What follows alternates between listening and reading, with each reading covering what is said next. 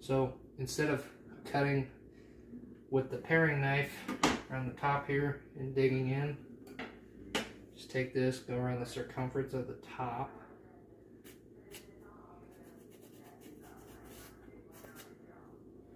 Where it kind of breaks loose.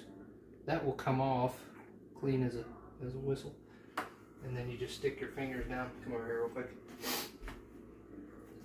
Stick the pepper. Stick your fingers down into the, the holes. Pull out the center and then just pick off the the remainder. Yeehaw!